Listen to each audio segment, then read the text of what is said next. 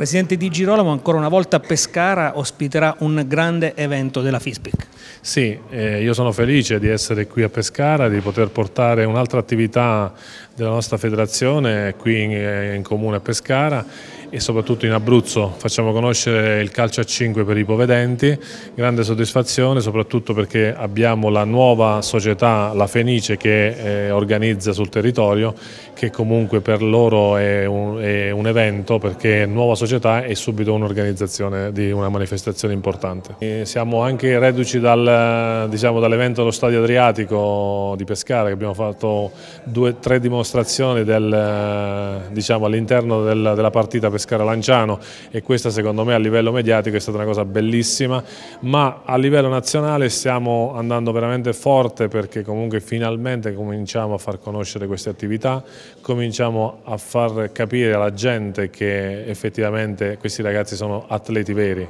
perché eh, fino a pochi anni fa il non vedente passava come il povero cieco, ma adesso finalmente abbiamo veramente fatto capire che cos'è questa federazione e veramente questi atleti lo sport vero che fanno.